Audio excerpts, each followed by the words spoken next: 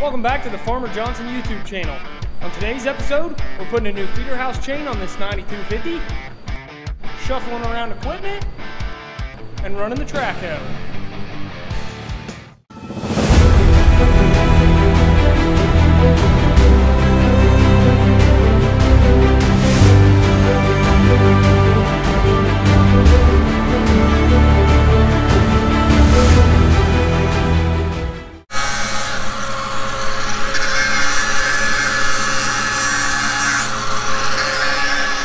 Putting on some fresh 60 heavy chains.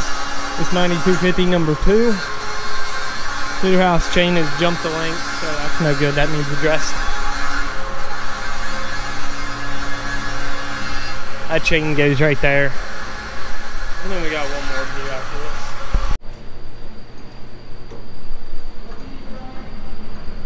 Right on the inside of the track is a ratchet wrench.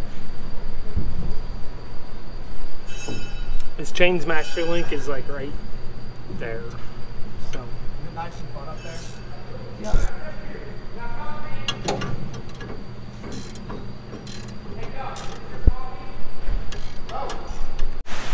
This feeder house chain been messing with it for several minutes now.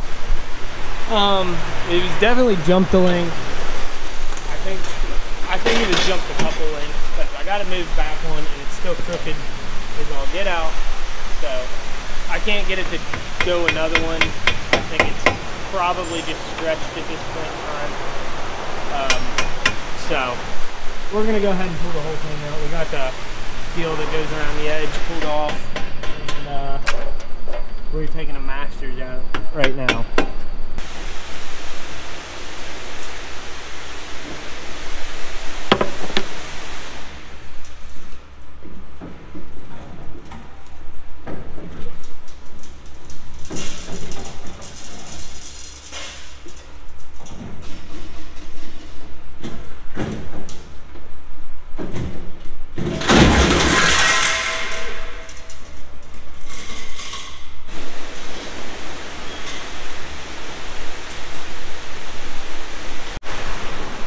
So the junk chain is taken out of here.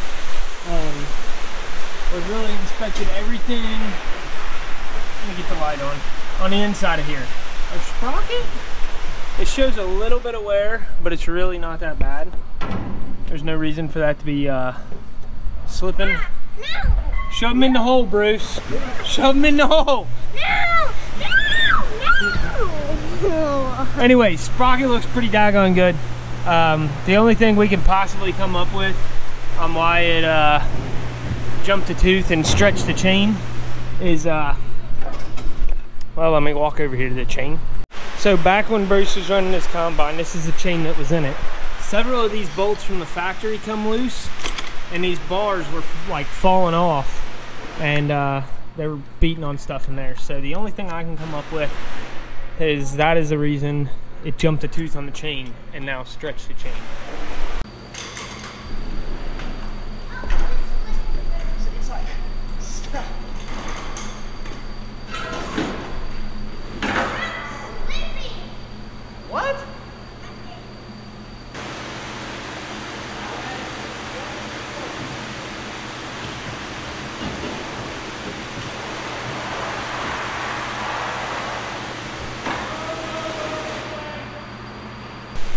New chain is on. That only took 29 and a half minutes.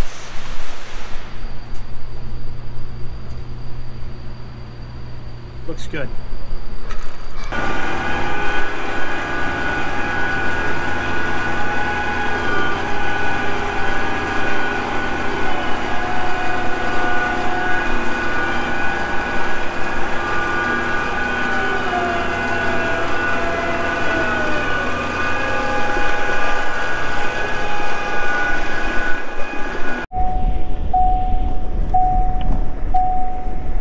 Well, uh, I hate to be that guy, but I am really glad that I'm gonna be running the track hoe today.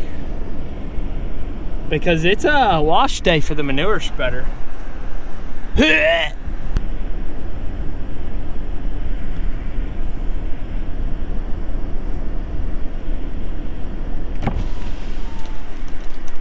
What? up, dude? Hanging out, you know? Just hanging out. thing won't run. What do you mean it won't run? It won't, it won't run without hydraulic pressure. I went to start it up and like even when you don't have this on in the cab, it still sends pressure to that. It still sends pressure through it. okay. So didn't build hydraulic pressure enough to run. It's kinda- So you just need to add oil? I oil? just, I just need to put this. All right, it's a little windy, but here is the uh, the skid loader rig. I had someone asking me about the grapple. Um, Colby blew a hydraulic hose on it. That's what he's fixing right now. But this grapple is a Jenkins. There's their phone number. It's a pretty bad rig. It's got it's got like teeth, like bucket teeth on it, which is pretty slick. And then uh, I dropped my coffee and then the uh, the top grapple part goes like all the way across, which is pretty pretty sweet. It's a it's a pretty bad rig. Um, I'm a huge fan of it. Made right here in the USA. That's always good. But that is that is the grapple there.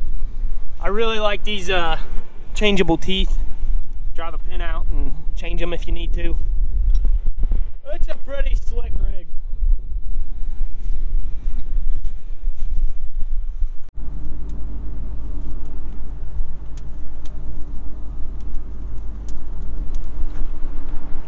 And this is for everyone that was so concerned in my last video with us uh, uh, burning trees in the uh, cornfield. Since you guys were so right, I should have listened to you. As you can see, we burnt this entire cornfield to the ground. It's gone.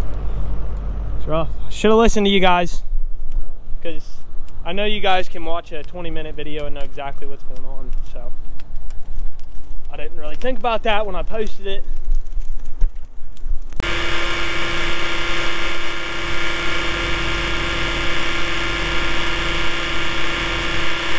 So we went ahead and got the fire started on this side of the pile. I had it going on the other side, but I, I wanted to it on this side because the wind is coming this way into it. So um, I want the wind to kind of blow it through the pile, get it going pretty good. Don't worry about it. We're not gonna catch the field on fire.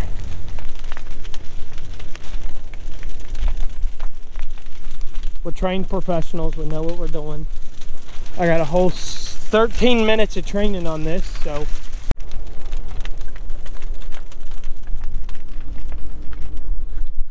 I totally forgot. You guys have no idea what's going on through here. Because I started doing this the day, let's see, the day, the day after my last video. So after I was hoping that the field wouldn't burn to the ground, this was the day after that. So um, where we were working was right along there. Right over there is where I got into the big stuff and we had the fire going over there. Well, this is a new fire and a new project on the same field, same farm. All right. We got this field right here and we got this field right here. And it's divided by this nasty, nasty little fence row. When I say little, there is some big stuff in it, but um, not very much. Most of it is just this nasty, falling down, dead, ugly looking, terrible stuff that there's no reason for it being here. So we're clearing this out. Um, most stuff on that side I can't reach yet. I'll have to go to the other side of our little stream here to uh, get that stuff out. But right now I'm going along this side. Road's right down there. You can, might be able to see beans down there and the skid loader working. But we are taking this one out. Um, I'm super excited to get this one out because it'll open this whole farm up and make it not seem like such a small farm anymore. Um, that I, I'm so excited about getting this out. We're really not gaining much ground to farm by getting it out. But one thing we will be able to do is we'll be able to get the water from the field into the ditch easier. We'll be able to take a bush hog and mow down along that ditch and make it look really nice. So super excited about that. it'll look good. It'll look really good. There is a couple bigger trees in here, as you can see. Like, look, look at this root ball. It's up there. Couple bigger ones. There's a big one.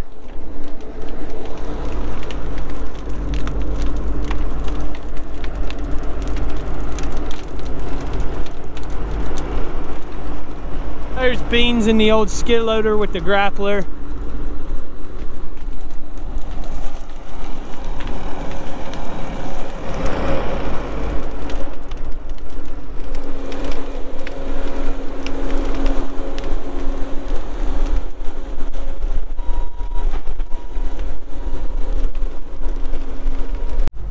Mean, this tree's not huge, but I mean, it, it looks like a pretty decent sized tree. Like it's a pretty decent sized tree. And, um, wow, it looks way bigger from this side. Look at that. This thing looks huge from this side. This tree's huge. But it's very dead, um, as you can tell. I got a push on it here, and I really don't want to be wearing this in the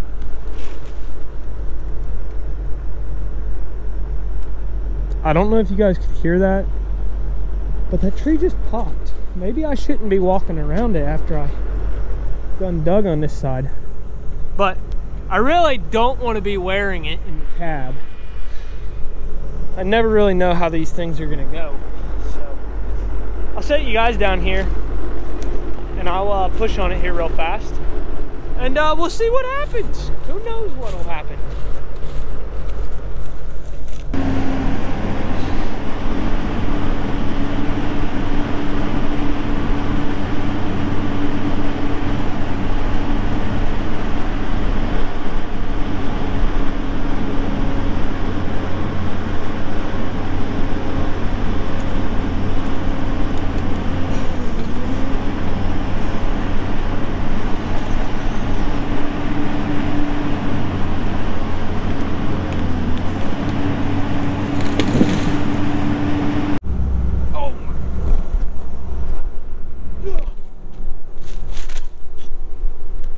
Think I I think this has got to be this has got to be an old antique like Indian relic. I don't know. I'm just digging along through the this fence right here, and uh, I seen I hit the bucket on this, but wow, look at that.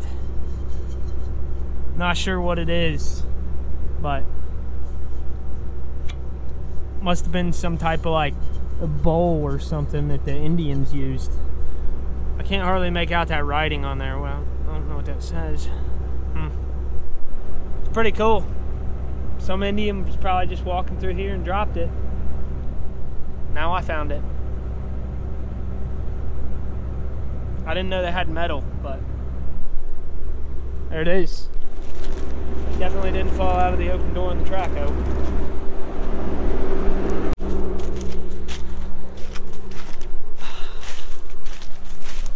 So I'm taking down this tree and I'm just beating a tor out of it like a rag doll. It was this tree right here and it's just whoosh, flinging all over the place. This dude right here flies off of it. Is it too cold for, I don't know if that's a hornet or what in the world that is, but um, I don't want no part in that. That looks like no fun at all. Hopefully it's too cold for them things and they're like dead or asleep for a very long time. Oh man, I had a hold of that tree and I was just all over the place and I saw that thing go flying through the air and I was like, I don't know what I would have done if uh, something would have come out of there or a whole bunch of somethings would have come out of there.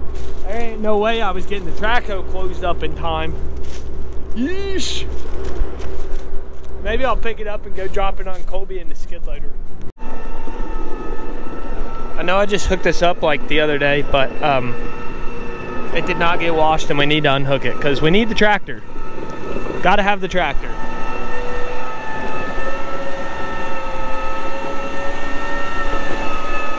Big old 380 CVT is going on the stump wagon.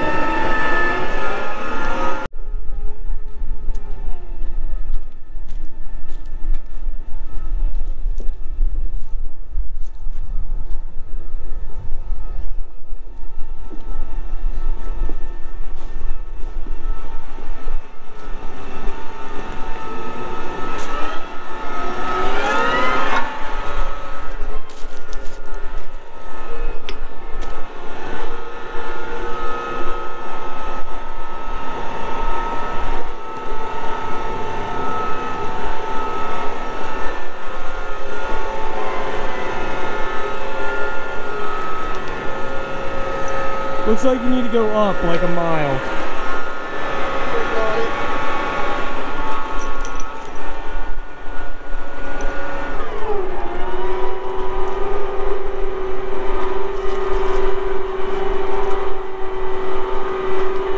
On that up? No, yeah, yeah, you need to keep going like a. Keep going. Keep coming. A little bit more.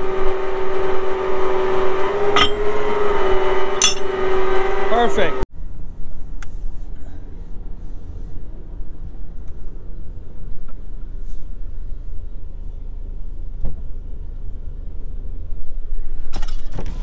I popped the ruined your trunk for you. shot. I, I popped the trunk for you. Hop in. So should I grab the loader? I thought Dad said he was. So did I, but okay. He's driving out there, okay. Okay. All right, so it is another day out here running the track hoe. Um, let me see if I can pop this ditch and, ditch and show you where we're at here.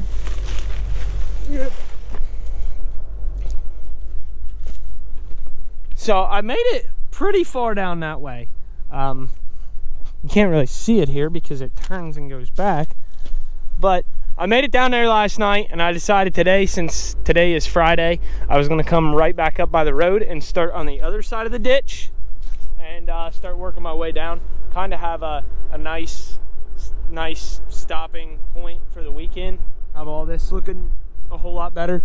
I don't know if we'll get the trees piled up on this side and burn them today. Um, Colby's running the skid loader uh, back over that way. Um, he's trying to clean up a little bit more where I uh, busted all the tree limbs down. But uh, this is what we got last night. It's really windy, but um, got everything cleaned up on this side of the ditch where we were working, piled up, burnt, good fire going, and then Colby come through with the, the skid loader and back drug it. So uh, we got a nice little windrow all the way through here. Um, our fires burn up a lot. I wish, I wish I could just like pick this whole fire up and move it to the other side of the ditch. Um, because it's kind of hard to get a really nice hot fire going that really eats down on the big trees. We got a couple big trees that are still smoldering away, burning in here, but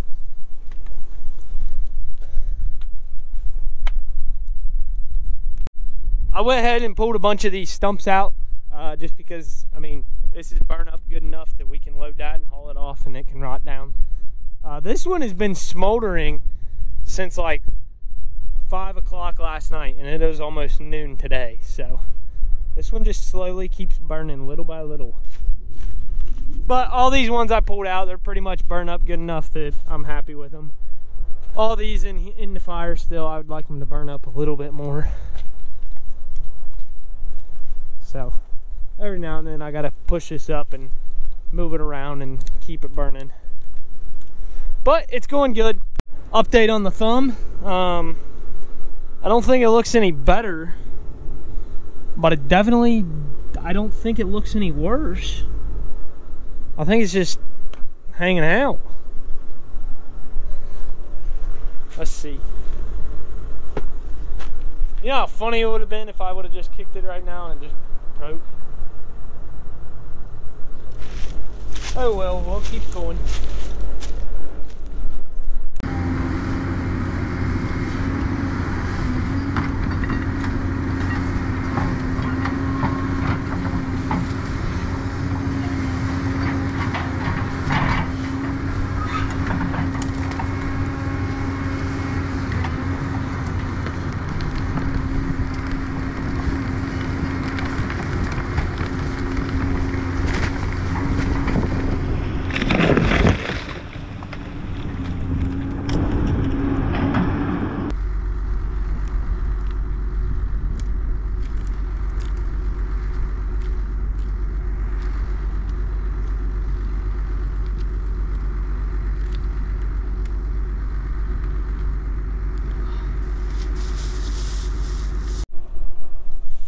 Big tree down. Big tree down. I mean, it's not a huge tree. I've dropped bigger, but I mean, in this in this fence row, this is about the the biggest they come. Well, from about that big ditch, you or bleh, sorry. Well, from about that big tree you guys see me drop, all the way up to the road, we got all them trees picked up, we got them piled, and we got them burning now. Uh, it's burning pretty decent. Um, I would have liked to get it burning a little bit better, but I need to get ready and head out of here. Um, we're going out for my sister's birthday tonight. And sorry, Alex, but it looks like I'm gonna be late because I'm supposed to be leaving the house about five minutes ago. And I'm still at the fire, so. I think that's all we got for this video. Hope you guys like it. Thanks for watching.